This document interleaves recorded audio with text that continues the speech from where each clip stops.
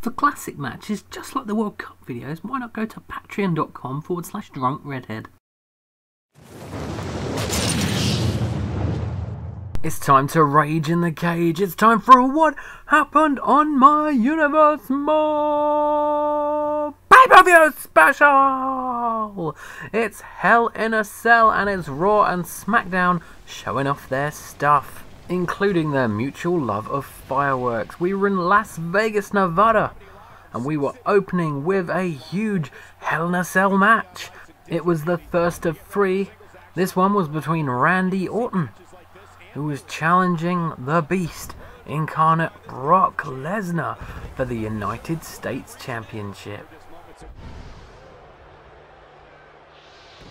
As you would expect, it didn't take long for Brock Lesnar to gain control, beating Randy Orton in the gut and then in the face with his knees and his arms. But Randy Orton wasn't going to stay down for too long. He got his early match shots in too, with his fists and his knees as well. But then he went outside and got himself a sledgehammer, which kind of gave him a bit more control. With Brock hurt, Randy Orton tried to throw him to the outside, but instead rammed him straight into the cage, which just pissed Brock off. He grabbed him, threw Randy back in the ring, and took him to Suplex City a couple of times. Lesnar returned the favour to Orton, smacking him into the cage wall as well, before heading to the outside and taking him to a different suburb of Suplex City. Three Germans. Nice. He continued to use the cage to his advantage before Randy woke up. Back in the ring, Orton snuck in an Olympic suplex before draping Lesnar on the second rope and hitting a DDT onto the sledgehammer. He went for the RKO, but Brock Lesnar was ready for it and threw him down before punching him in the gut. And oh yeah, another trip to Suplex City. Lesnar threw Randy Orton to the outside once again, and once he was out there, he chucked him into the steel cage again, and then an F5, but he wasn't done there.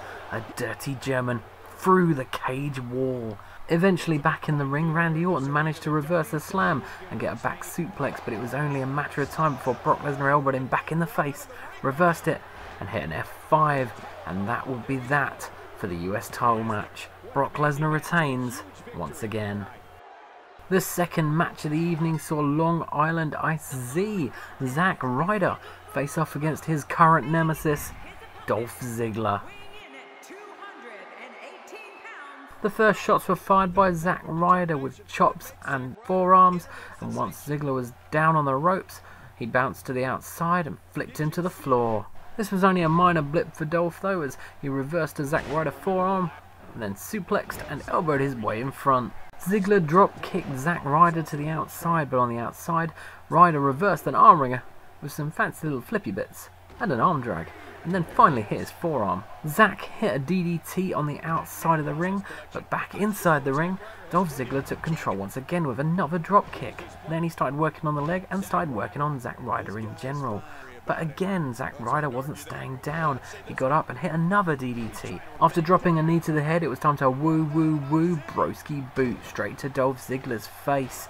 And leg drop followed that and then a neckbreaker. Ziggler was back up after that though, and a Fameasser followed, and after that, a zigzag. Would it be curtains for Zack Ryder? One, two, no. It was a kick out, just about. Dolph Ziggler continued to work on Zack Ryder. There was only so much more that Dolph Ziggler could do before Zack Ryder would bounce back up and forearm him in the face again. He waited, and then the Rough Rider followed, and it was one, two, three. Zack Ryder was victorious, and in the post-match, he offered a handshake to Dolph Ziggler, but would he take it? Would he bollocks? He slapped his hand away and walked off. It was time for the second of our Hell in a Cell matches. This time it was for the Women's Championship as Trish Stratus challenged Paige for the title, who was wearing a strange new blue jacket for some reason. I'm not sure why. Trish Stratus got the better of the early exchanges with forearms and more forearms and then a dropkick. But then Paige got her elbow up and took control. After a lovely hurricanrana, Paige chucked Trish Stratus into the corner and went wild with back elbows, probably giving Trish a bit of a headache. As is the norm with these type of matches, it headed to the outside and Paige kneed her in the gut before doing a nasty back suplex on the outside but then Trish got up and reversed, as is usual in these matches as well. A flapjack on the apron followed and a suplex into the cell. Trish then dumped Paige back in the ring and clotheslined her down, but after that another Paige reversal followed. Paige took her to the outside, punched her in the face and hit with a dirty jawbreaker, and then threw her into the cage. Missing a clothesline, Paige handed Trish away back into the match. She threw her into the corner post and dumped her back in the ring, ready for a hurricanrana off the top rope. Trish went for the chick kick, but Paige moved out of the way and grabbed her, ready for a rampage right into the mat. She went for the pin, 1-2, but Trish wasn't ready to lose just yet. A frustrated Paige headed to the outside and grabbed her sledgehammer, which she rammed into Trish Stratus more than once, and then another ram came, a rampage, and this time, would Trish stay down? No, she would not. Another kick out. The anti-diva headed outside for more weaponry, this time grabbing a baseball bat and knocking Trish right out. Also hitting a few shots to her back too. She tried to get back up, but Paige took her down with a clothesline and then a Paige Turner, which she finally kept her down for the 1-2-3. Paige retains the WWE Women's Championship. The middle match of the show saw Edge come out to the ring, and after his fireworks went off, he was quickly joined by Stardust, who attacked him on the ramp. Stardust would start things off with a nasty back suplex onto the concrete floor and then followed that up with a neckbreaker. Edge was up quickly however and he threw Stardust back into the ring and this time he'd boot him in the face on the way. As the match began and Edge still had his jacket on, he hit a neckbreaker on Stardust before getting an elbow to the face and a bionic elbow to the face and a dropkick to the face and more stuff to the face. Following a Michinoku driver, Edge got up and reversed a punch and what a punch of his own and then a bulldog taking Stardust down. The Hall of Famer hit a big boot but then started taking the padding off the turnbuckle for some reason. He went for a sidewalk slam but Stardust reversed and hit a cross arm DDT before a disaster kick. Stardust got up and hit a crossroads on the dazed rated R superstar and amazingly won the match in a shocking result. Stardust celebrated and then celebrated some more in a different way by stamping on Edge a few times. After decimating everyone in their path, it was time for Team Fuckboy! Roman Reigns and John Cena to get their shot at the tag team titles against a team they have beaten already, the Wyatt family, Luke Harper and Erick Rowan.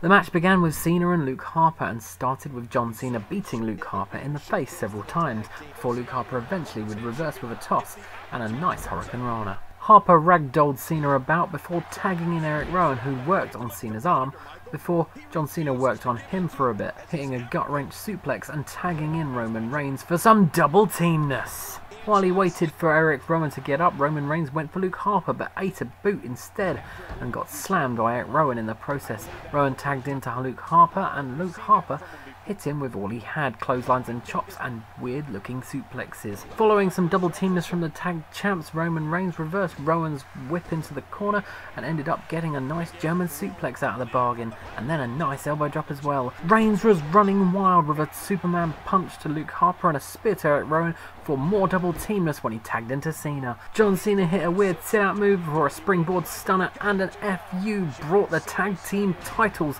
to Team Fuckboy! In the penultimate match of the evening, it was our third and final Hell in a Cell match.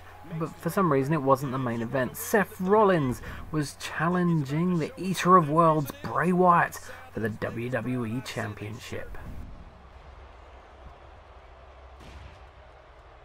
Before the match, Seth Rollins tried to get a handshake out of Bray, but he wasn't having it, and then Seth just slapped him, and Bray got angry. But Seth had the control and hit a nice elbow to the face and a blockbuster so early in the match. However, Rollins' control wouldn't last, and Bray reversed the DDT with some punches in the gut, and then came back with a choke suplex. Wyatt threw Rollins to the outside and clotheslined him down, but on the next attempt he was dodged and Rollins started beating Wyatt about. A Northern Light suplex followed that and then back into the ring, where he drilled Bray Wyatt with a flatliner.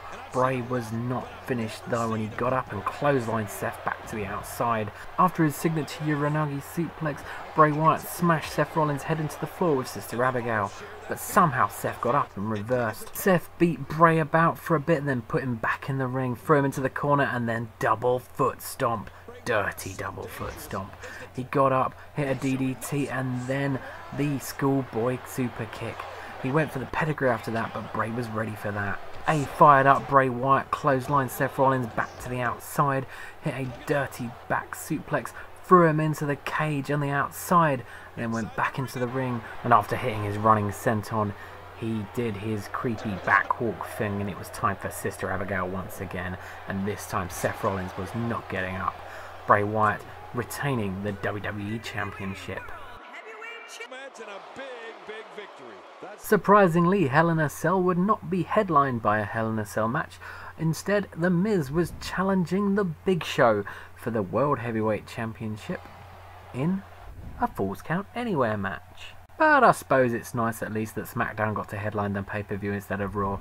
You don't get that very often these days.